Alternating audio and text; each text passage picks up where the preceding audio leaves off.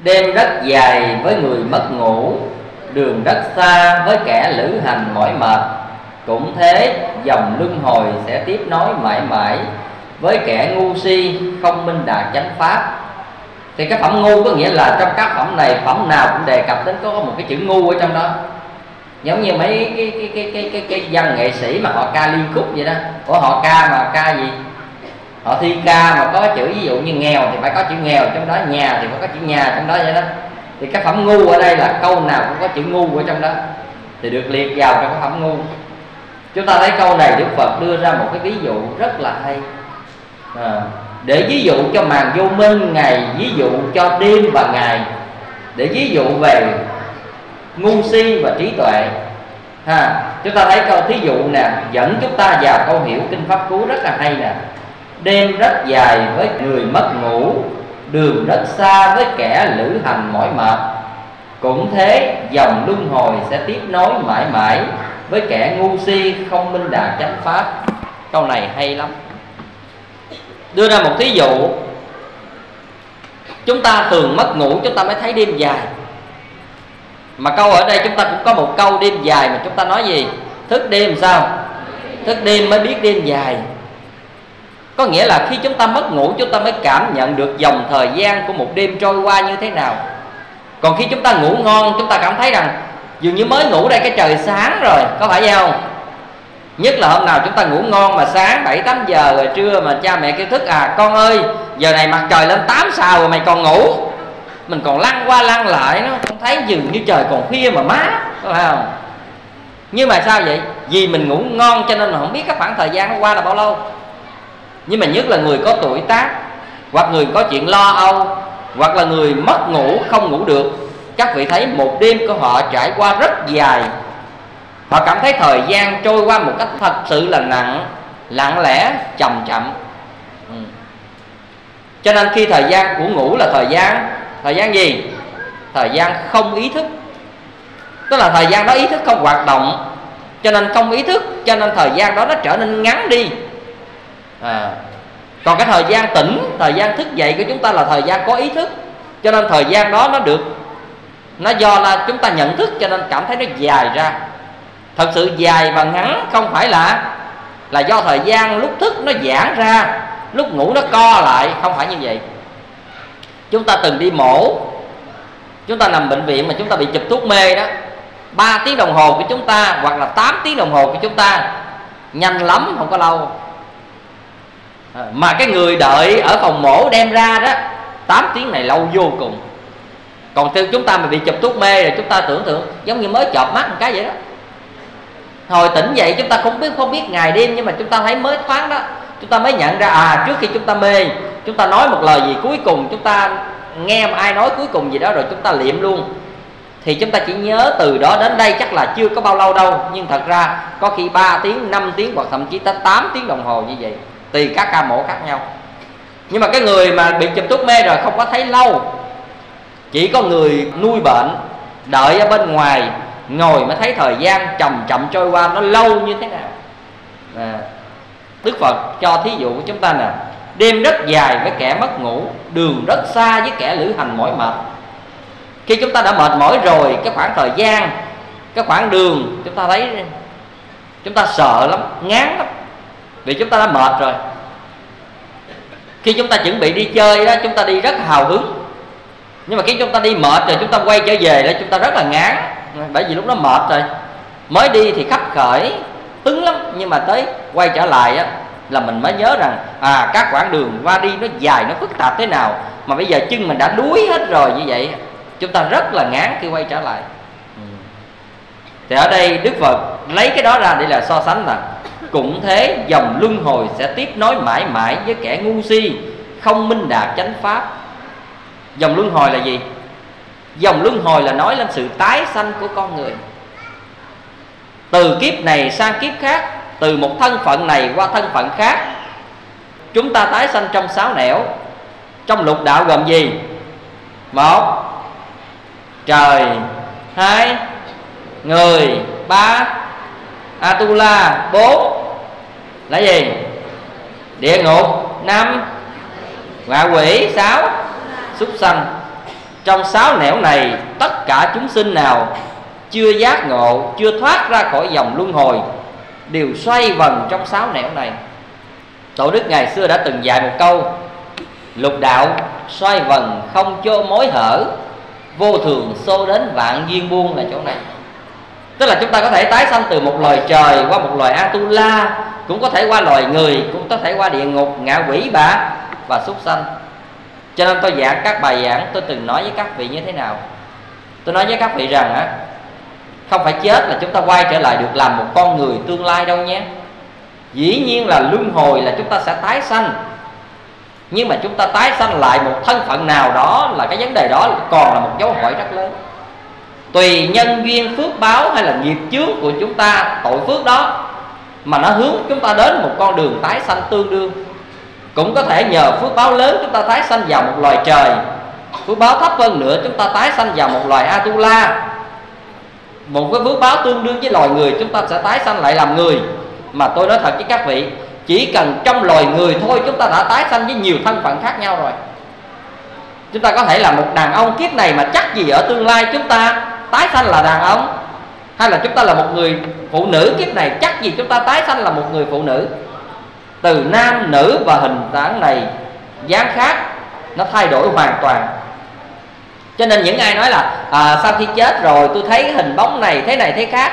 Cái đó chẳng qua là hình dung của ký ức thôi không phải một con người sau khi chết là chúng ta thấy à má chúng ta trước khi chết mặc áo bà ba xanh à, mặc quần nâu gì đó thì mai này mượn hình ảnh đó cũng áo bà ba xanh rồi cũng cỡ tuổi đó. Trước khi chết là 80 tuổi thì bây giờ chúng ta cũng thấy một bà già 80 tuổi cũng thấy đó tất cả những cái đó là chỉ là ký ức. Còn con người đó ra đi không phải ôm một cái thân phận giống như trước khi chết mà chúng ta từng thấy từng hình dung trong ký ức của chúng ta. Cho nên có, có những người nó nằm bao thấy má con vậy vậy vậy vậy đó thật ra thấy đó là thấy của ký ức chứ không phải là thấy con đường đi tái sanh của bà. Cho nên các vị đôi khi rất mơ hồ về chuyện này. À, rất mơ hồ và đôi khi chúng ta cứ lý giải bậy với giả bạ như thế. À, cho nên chúng ta có thể khi tái sanh là một thân phận con người nó đã vô số cái hạng người khác nhau rồi. Thông minh hay là ngu si giàu hay nghèo đẹp hay xấu và thân phận đàn ông hay đàn bà đàn bà loại nào, đàn ông loại nào, tùy nghiệp của chúng ta chứ không phải do chúng ta muốn mà được đâu. Một loại quý phái này là một loại bần tiện, cùng là một con người, nhưng mà cũng vô số hình thái khác nhau của tùy nghiệp của mỗi chúng sinh mà nó có thân phận như vậy. Ai không muốn sanh ra trên cuộc đời này mình được giàu, ai không muốn mình được đẹp, ai không muốn mình quý phái, ai không muốn mình hoàn hảo, đừng có cùi đuôi sức lỡ nhưng mà tất cả đâu phải do chúng ta muốn để chúng ta có mặt trên cuộc đời này như ước mơ của chúng ta đâu? Chúng ta chỉ muốn bằng cách là à muốn như vậy thì phật dạy, gieo nhân nào để được quả này? Muốn có thông minh thì phải gieo nhân nào? Muốn giàu có phải thân nào? Muốn thân hình xinh đẹp phải nhân nào? Chúng ta biết như vậy, chúng ta tu những nhân tố đó thì quả mai chúng ta mới có những cái kết quả tương đương. Chứ không phải là à tôi nghĩ như vậy, tôi sẽ là như vậy. Nếu như vậy trên cuộc đời này ai tu để làm cái gì? Cho nên trên cuộc đời có những người nói là, thầy, trên cuộc đời này sao nó bất công? Tôi nói, không có bất công. Nếu sanh ra trên cuộc đời này sống và chết đi trong một kiếp kiếp này thì gọi là bất công. Nhưng mà chết chưa hẳn là kết thúc một kiếp người. Chết chỉ là một giai đoạn tạm thời của kiếp người thôi.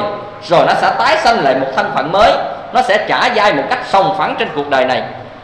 Nếu đứng về quy luật của luân hồi, nhân quả, thì chẳng có cái gì là bất công cả cái gì cũng phải trả dai một cách sòng phẳng. Đừng nói là mình khôn hơn hay là mình gian dối hay là mình lừa gạt thế này thế khác. Các vị có thể làm được những điều đó với những thân phận con người chúng ta. Nhưng quy luật nhân quả sẽ xếp chúng ta vào một cái con đường y như những gì chúng ta đã gây ra. Trên cuộc đời này không ai khôn và dạy cả. Khôn thì nhất thời đó dạy cũng nhất thời đó. Khôn dạy chỉ là một giai đoạn ngắn của một dòng sinh mạng bất tận mà thôi cho nên tôi nhớ ngày xưa tôi có đặt bài thơ mà tôi nói bốn, trong tám câu mà tôi nói bốn câu đầu, các vị có nhớ là tôi đặt bài thơ một kiếp người đó. Tôi có nói là ai đã cho tôi một kiếp người, hết sanh đến tử tợ trò chơi. Tôi chưa lần chết nhưng đã chết bao kiếp trầm luân giữa cuộc đời. Các vị có nhớ tôi đặt này không? Tôi chưa chết là tại vì kiếp đời này tôi chưa chết. Tôi chưa lần chết nhưng đã chết, tức là đời này tôi chưa chết có nghĩa là bao nhiêu năm nữa tôi chết, tôi già, tôi chết, tôi bệnh, tôi chết, tôi gì, tôi chết là cái chuyện đó. Nhưng mà nó chưa xảy ra với tôi. Nhưng mà tôi nói là tôi chưa lần chết nhưng đã chết. Có nghĩa là đời này chưa chết mà vô số đời tôi tôi đã từng chết. Tôi chưa lần chết nhưng đã chết bao kiếp trầm lưng giữa cuộc đời. Có nghĩa là vì tôi luân hồi trong cuộc đời này, tái sanh với nhiều thân phận và hoàn cảnh khác nhau, mà mới có mặt hôm nay của tôi và tu chưa giải thoát chưa giảng sanh thì tôi cũng sẽ tiếp tục tái sanh. Với một thân phận nào của tương lai tôi không xác định được. Đây là những cái điều mà chúng ta cần phải học Phật cần phải hiểu rất rõ những cái điều này. Cho nên tại sao Đức Phật mới sợ luân hồi? Đức Phật sợ luân hồi cũng giống như bác sĩ mới sợ vi trùng vậy đó. Chúng ta không hiểu luân hồi là gì. Chúng ta không phải hiểu là sau khi chết bờ mẹ sanh tử chúng ta là gì Và cuộc sống tương lai là gì. Chúng ta thường hình dung rằng hôm nay với thân phận này, cuộc đời này, bản thân này Rồi chắc là chúng ta chết rồi chúng ta sẽ lặp lại với thân phận đó, con người đó Cũng giống giống như những gì như thế. Thành ra chúng ta chả sợ gì cả. Nhưng mà Đức Phật thấy rất rõ chúng sanh cứ leo lên leo xuống trong cuộc sống luân hồi này. Mãi mãi để chịu đau thương khi cũng hạnh phúc đó Hạnh phúc tạm thời đó Rồi đau khổ đó mà lỡ rơi vào trong địa ngục ngã quỷ súc sanh thì năm tháng nào, đời tháng nào chúng ta mới hết cái nghiệp đó. Cái đó là điều khó nói trên cuộc đời này. Mà không phải là thân phận chúng ta. Đức phật trước khi thành đạo cũng thế. Một hôm, a nan hỏi đức phật như thế này. Bạch đức thế tôn, ngài đã tái sinh trên cái cuộc đời này, cõi diêm phù đề này bao nhiêu lần rồi? Thì đức phật mới nói rằng, này a nan, ông hãy cầm một cái dùi ông đi khắp trên quả địa cầu này. Ông cấm bất cứ chỗ nào cũng cũng đụng thân ta. Đức phật nói như vậy là bao nhiêu kiếp đời ngài có mặt trên cuộc đời? Vô số kiếp. Cho nên đức phật mới nói là nước mắt chúng sinh nhiều hơn nước trong bốn bể là gì vậy đó. Sữa chúng ta bú của mẹ đó còn hơn nước cả trăm sông là gì vậy đó một cuộc đời chúng ta khóc chừng ly lúc này là dữ lắm rồi. Ai quá đáng thì chừng ly à. Còn thông thường những người á, bản lĩnh ít khóc á thì chắc chừng dài giọt bất đắc dĩ gì do bụi gì đó thôi. Còn ai nước mắt cá sấu thì cỡ ly này là dữ lắm rồi. À, đúng không? Nhưng mà vậy mà đức phật nói là nước mắt chúng sinh nhiều hơn nước bốn biển. Cái đó đức phật lấy cái gì mà ra? Có nghĩa là dựa vào cái luân hồi tái sanh của con người mà ra. Một kiếp, một ly, ngàn kiếp, trăm kiếp, triệu kiếp, tỷ tỷ tỷ kiếp. Thì từng từng từng từng như vậy. Nó là cái nhìn của đức phật mà nói như thế đó. Có nghĩa là chúng ta đã sầu khổ bao nhiêu kiếp đời trên cuộc đời. Nhưng mà khi không gặp phật, chúng ta làm sao biết con đường nào để giúp chúng ta giải quyết vấn đề này? Hoàn toàn không biết. Giống như ngày xưa ở việt nam chúng ta, ai đau ruột thừa là chết. Sao biết đường mà mổ được? Ngày xưa ai đau bệnh thương hàn là có thể chết. À, bây giờ bệnh thương hàn là chuyện thường. Bệnh ruột thừa là chuyện thường. Nhưng mà ngày xưa ai chữa trị được bệnh này? Ruột thừa có người ôm bụng rồi tới vỡ ruột thừa rồi á, là chết luôn. Còn thương hàn đã tới thúi ruột là chết luôn. Tại vì sao vậy? Ai khám phá gì hiểu được chuyện này? Nhưng mà y học ngày hôm nay khi người ta đã khám phá được rồi đó là chuyện thường và ngày xưa khi người ta chết những cái bệnh đó, người ta xem đó là là quy luật rồi, cái bệnh trời kêu. Nhưng mà y học phát triển thì đó trở thành cái bệnh cũng bình thường. Cũng vậy, khi chúng ta sống trong màn vô minh tâm tối, chúng ta cứ lăn lóc trong cuộc đời này, cứ khổ đau, cứ khóc, cứ thương dai, cứ khóc mướt, cứ sầu khổ. Hết chuyện này đến chuyện kia, nhưng mà chúng ta cũng nghĩ à đó là quy luật cuộc sống. Bởi vì đâu có ai chỉ cho chúng ta con đường để lo thoát đâu rồi khi chúng ta học Phật như thế này Chúng ta cũng mới ngồi trầm ngâm chúng ta suy nghĩ À thì ra Đức Phật phân tích cho chúng ta Tại sao chúng ta khổ Tại sao chúng ta đau Tại sao chúng ta sầu Tại sao những thân phận trên cuộc đời này nó khác nhau như vậy Tại sao người giàu kẻ nghèo Người hạnh phúc người bất hạnh Người đẹp kẻ xấu Người thông minh kẻ ngu si? Lúc đó chúng ta mới tự trả lời Thì thế thì thế. Và chúng ta mới xét lại à, thân phận mình Trải qua cuộc đời thế nào bây giờ thế nào? Rồi tâm thức mình, quá khứ làm sao? Bây giờ tâm thức mình, khi học phật sao? Khi học rồi chúng ta mới trả lời được từng phần từng phần trong cuộc đời chúng ta. Và lúc đó chúng ta mới thông minh lên, hiểu biết lên. À. vì vậy, khi chưa hiểu luân hồi, chưa giác ngộ thấy được luân hồi, thì chúng ta xem như là quy luật vậy thì phải vậy thôi. Thậm chí chúng ta cũng không biết luân hồi là cái gì nhưng mà bằng cái con mắt nhìn tuệ giác của đức phật đức phật mới thấy khiếp đảm cho cái con đường đi tái sanh của chúng ta. Đức phật ghê gớm lắm cho nên đức phật mới nói với câu cây nè dòng luân hồi sẽ tiếp tục mãi mãi với kẻ ngu si không minh đạt chánh pháp. Có nghĩa là không có tuệ giác thì phải chấp nhận tái sinh thôi chứ không có gì cả. À, đó là quy luật rồi các vị.